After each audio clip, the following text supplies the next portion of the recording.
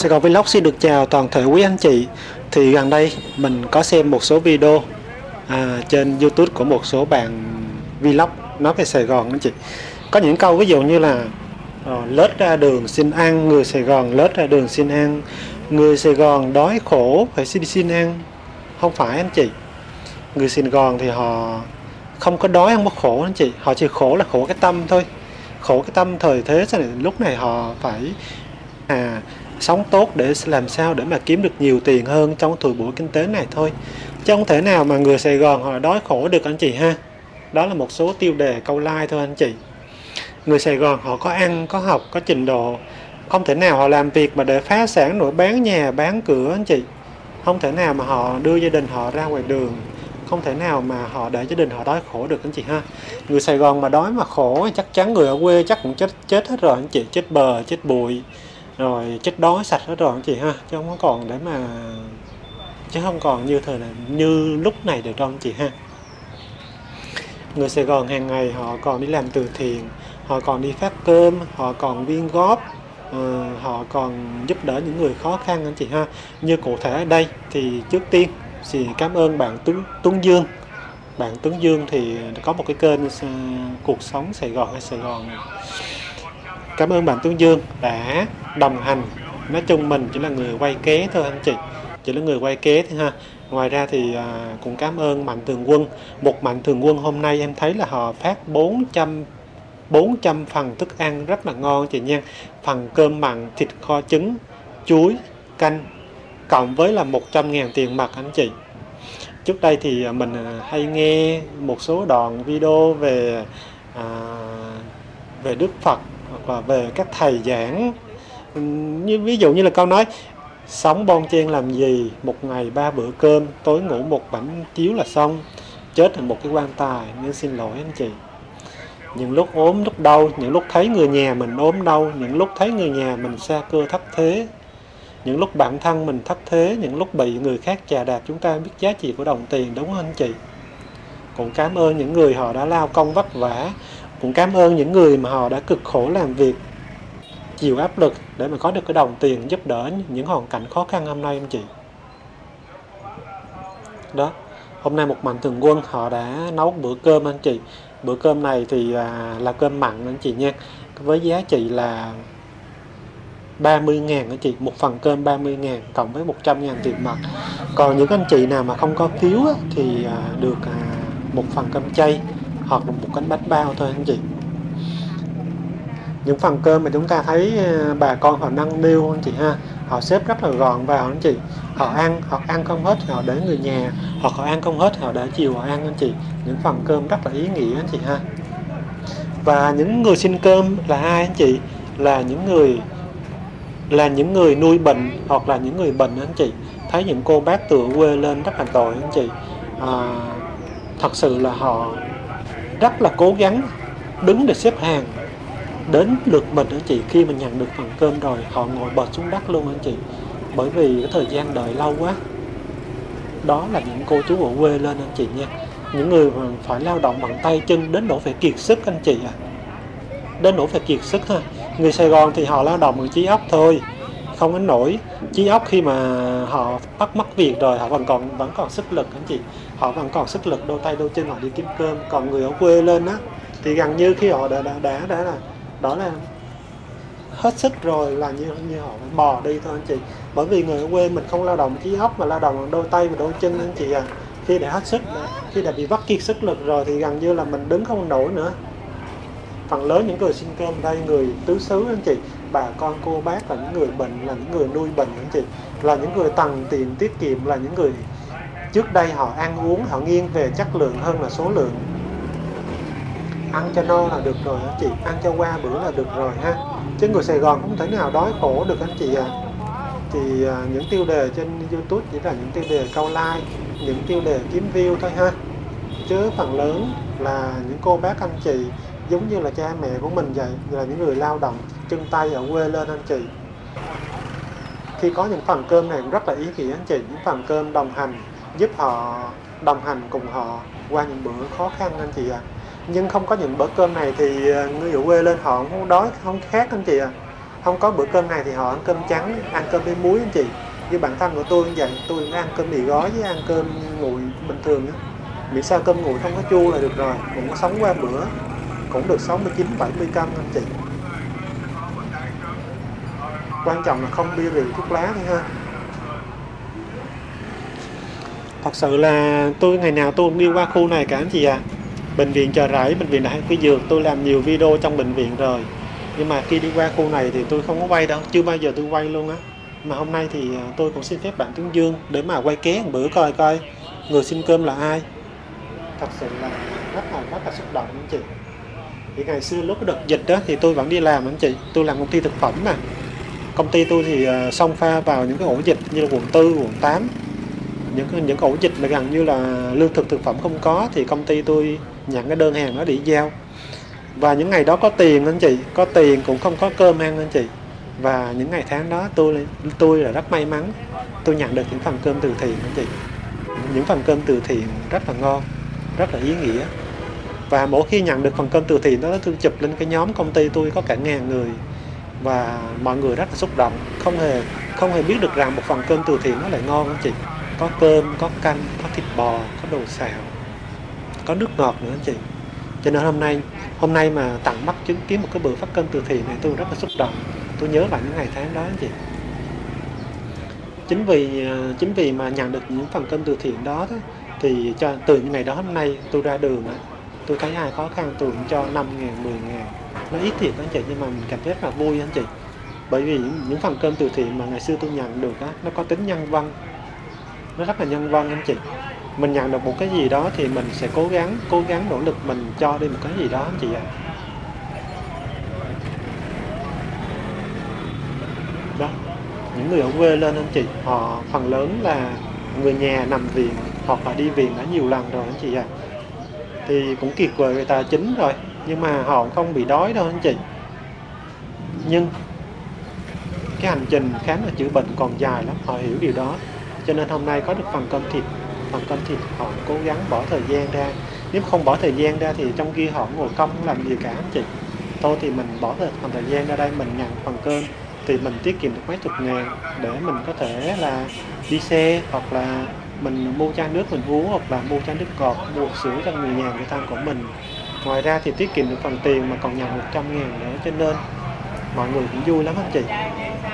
Cho nên chúng ta hãy cố gắng làm việc anh chị ha? Đừng có như đức phật nói là bon chen làm gì, cố gắng làm gì ha? Thực sự tôi thì tôi không tin vào phật, không tin vào chúa anh chị. Không tin đâu.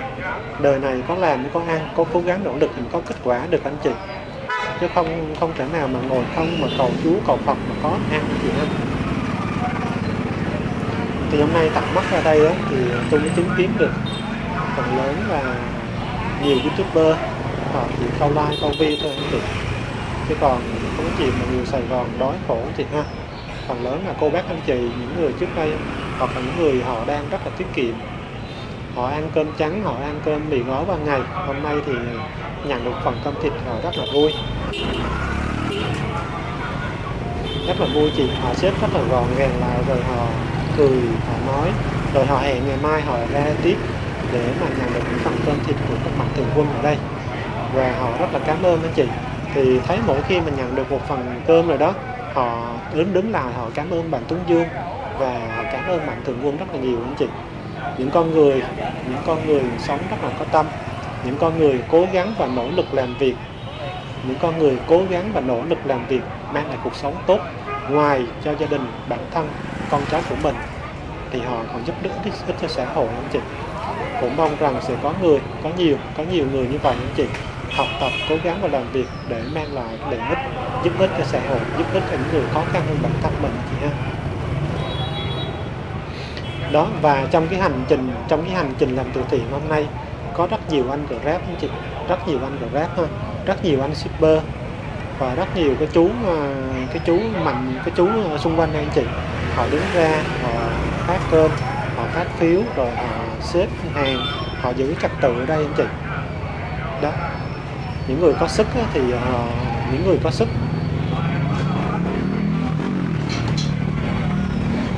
Những người có sức thì họ giúp giúp sức những người có tiền thì họ giúp tiền anh chị ha chứ uh, ờ, youtuber thì uh, youtuber như bọn mình thì phần lớn là những người sống bám xã hội. Sống bám vào xã hội và kiếm like kiếm view thôi. Sự.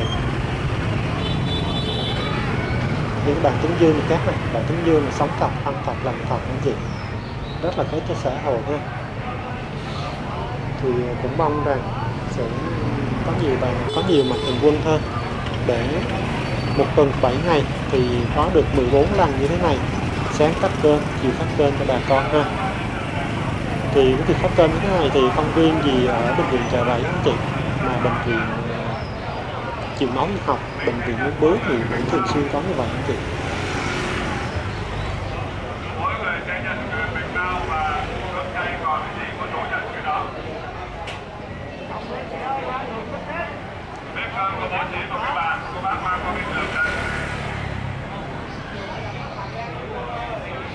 Rồi. Cảm ơn chị nhiều nha. Sài Gòn lúc này thì không có khổ anh chị nha. Mà không có đói đâu anh chị. Thật sự ở Sài Gòn là không có đói.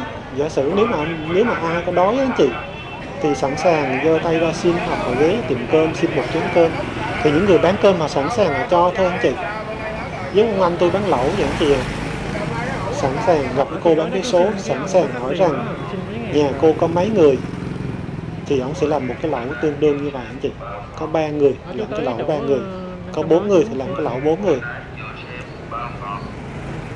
Rồi gặp những người ăn xin mà vào quán quán nhậu anh chị. Tôi cho 10 ngàn ổng sẵn sàng cho 50 ngàn anh chị. Thực sự là như vậy. Sài Gòn thì không thể nào đói được anh chị. Buổi tối mà chúng ta đi ngoài đường chúng ta thấy không? Cơm từ thiện thức ăn từ thiện phát rất nhiều anh chị những người mà nhận cơm từ thiện mình chị biết không, họ chỉ mở phần cơm ra, họ chỉ lấy phần thịt thôi anh chị. Còn cơm thì họ quăng gốc cây anh chị, không có đói được ha. Sài Gòn cũng tức là không thể nào đói được anh chị. Sài Gòn chỉ cần có cái đầu sơ sơ thôi. Ví dụ như là chợ Bình Điền, chợ Hóc Môn, chợ Đồng Mối Thủ Đức. Nếu anh chị nào khu vực đó thì không thể nào đói được. Chỉ cần trái cây nè, nông sản nè, mà dập sơ sơ đi, họ cũng loại ra rồi nếu mình mình mà mình chỉ cần tới đó lọc ra những cái phần nào bỏ đi những phần nào nguyên vẹn mang về ăn uống vẫn bình thường anh chị. Không thể nào đói được anh chị ạ. À. hồi nhỏ tôi cũng vậy hồi nhỏ tôi cũng lớn lên trong cái trong cái hoàn cảnh là à, trong cái hoàn cảnh là ba mẹ tôi là người buôn bán trái cây anh chị. Những phần nào ngon á thì đang bỏ cho khách. Những phần nào mà rớt xuống mà dập anh chị thì mang về cho con cho con ăn rồi hàng xóm ăn anh chị hoặc những phần trái cây nào mà bể thì mang về, mang đổi xôi đổi cháo rồi cũng được. Cũng mang về đổi xôi đổi cháo, buổi sáng, buổi trưa, qua ngày cái gì à. Sài Gòn không thể nào đói được anh chị nha. Đói chỉ có những người vô gia cư, những người ở quê, gần như là mất đất, mất nhà, không có công việc làm, ốm đau bệnh tật. Bán đất, bán nhà hoặc là ốm đau bệnh tật để vào Sài Gòn, bám trụ Sài Gòn để mà nuôi bệnh, để mà sinh sống thôi anh chị. Để mà sống tàn sống bay lắc ban ngày thôi chứ còn người Sài Gòn thì không bao giờ đói được ha. Và đặc biệt những ai mà sống khu vực Hóc Môn rồi thì chẳng bao giờ đói được anh chị. Đói thì ra qua đường xin tiền. À, đói thì ta vô khu quán ăn á ta ngồi ta xin ăn thì ai cũng cho cả thôi. Đó thì vô chợ đầu mối nào thức ăn rau củ quả trái cây. Họ loại ra thì mình vô đó mình xin họ cho hết anh chị. Không thể nào không cho đâu. Đói khổ chỉ là hai cái từ từ hai cái từ mà các youtuber họ dùng câu la thôi anh chị. Chứ bây giờ chúng ta ngồi ngoài đường á chúng ta đi ngoài đường, chúng ta thấy ăn xin anh chị. Đặc biệt những người làm gái. Những người làm gái họ không phải đói khổ ra đường anh chị. Một số rất là giàu luôn anh chị. Một số họ làm gái vì đam mê, vì sướng, vì à, có tiền. Chứ không phải họ đói khổ, họ có nhà cho thuê. Họ có quán cà phê họ cho thuê. Họ có mặt bằng họ cho thuê sửa xe, họ vẫn đi làm anh chị đi làm bởi vì đó là công việc của họ rồi. Một ngày mà không có thu nhập á, một ngày mà không có thu nhập, không đi làm họ buồn, chán họ không chịu được. Họ có rất nhiều người ra đường ăn xin không phải họ đói họ khổ anh chị. Mà bởi vì họ rảnh rỗi, tuổi cao, sức yếu, ở nhà không biết làm gì, tối ra đường, xin ăn, ví dụ cái gì ăn được thì ăn luôn trong ngày. Không thì để mai ăn cho con, cho cháu, bịch sữa cho con, cho cháu anh chị. Đó. Sài Gòn bây giờ đói được anh chị ha? Chỉ có là mình mình, gọi là ăn không ngon, ăn không ngon ngủ đủ giờ thôi. Cho nên là mình khổ là khổ, cái gọi là mình không đủ thời gian để mà mình làm việc. Đó. Những người mà không có trí thức thì buộc phải lao động chân tay, lao động chân tay nhiều thì chúng ta thấy chúng ta khổ thôi. Còn đói sao mà đói được? Ngày ăn bữa cơm, hai bữa cơm, ba bữa cơm thôi. Thì không thể nào ăn đủ được ha. Mình không đủ thì hồi xã hội họ hỗ trợ thôi ha. Không đủ thì xin ăn thật sự là mình ngồi ngay ngõ tư ngõ ba đường đó. Mấy bé ăn xin thôi người ta mang qua cho cơm cho bánh cho trái rồi cho sữa nữa anh chị. Thực chất là, là đâu có thiếu cơm thiếu thiếu đồ đâu. Chỉ qua là mình cái nhà cửa rồi tiền chịu người ta không có người ta không cho mình thôi. Không có đủ để cho mình thôi ha. Chứ còn cái chuyện mà đói khổ thì không có thì nha.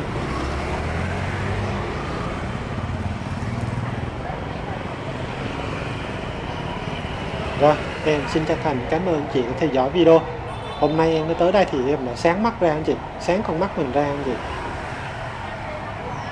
Biết ai ai đó, ai khổ ha. Rồi, cảm ơn chị nhiều nha.